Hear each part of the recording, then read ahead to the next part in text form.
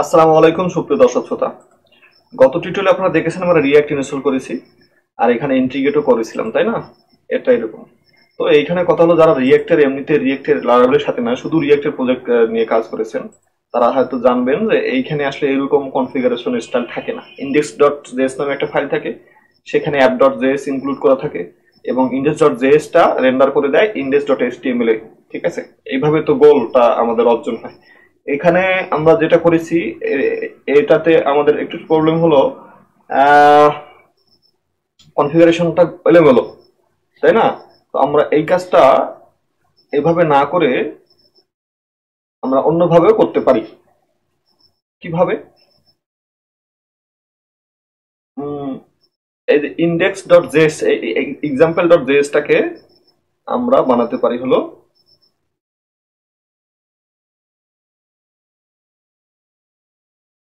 আচ্ছা এটা এরকমই থাক।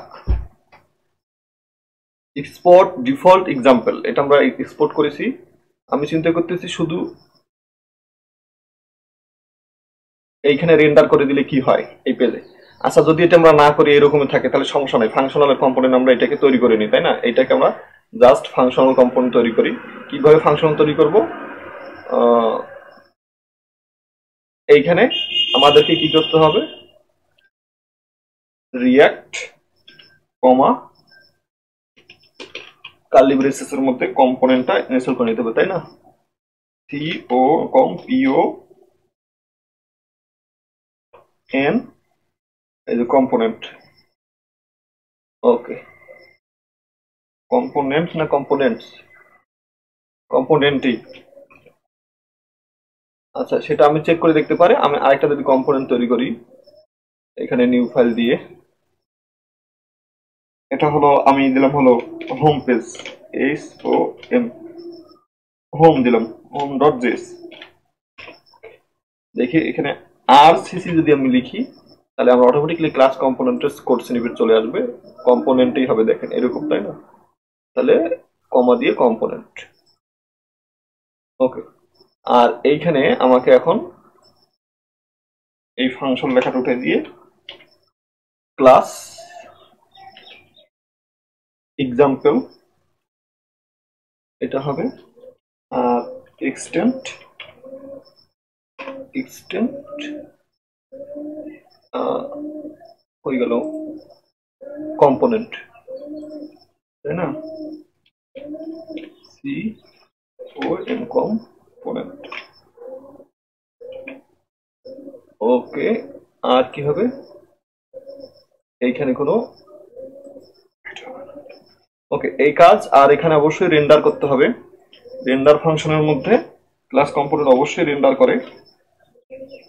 আপনারা জানেন যারা শুধুমাত্র রিয়াক্টে প্রজেক্ট করেছেন এটা। আর এই পুরো রিটার্নের কাজটা থাকবে হলো আমার রেন্ডারের ভিতরে, তাই না?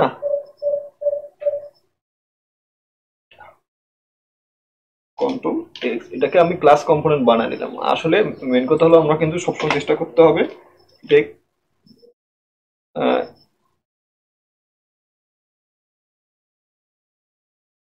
ও ঠিক হয়ে গেছে কন্ট্রোল জেড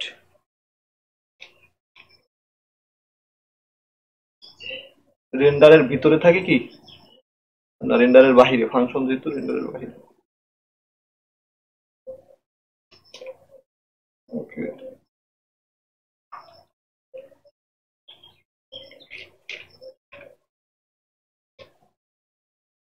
হয়েছে। তাহলে এখানে ভিতরে আমি রিটার্নটা দিলাম। এটা মেইন কম্পোনেন্ট আচ্ছা এবার এবার ঠিক আছে।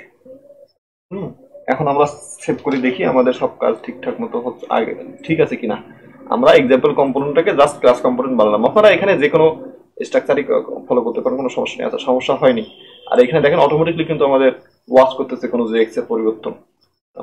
জাভা স্ক্রিপ্টের পরিবর্তন। আচ্ছা ওকে ফাইন এবার যদি আমি এটাও চেঞ্জ করে দিই। কন্ট্রোল সেভ তাহলে কিন্তু এখানে চেঞ্জ শো করবে। এই দেখেন ওকে তার মানে ক্লাস কম্পোনেন্টে পরিবর্তন হয়ে গেছে। আচ্ছা এখন আমরা কি করব মূলত? উদ্দেশ্য কি? আমরা অবশ্যই একটা রাউট তৈরি করব রাউটিং পেজ তৈরি করব। আগে পেজগুলো তৈরি করে নিই, তাই না? আজকে টিউটোরিয়ালে করা যাবে কিনা সেটা দেখি।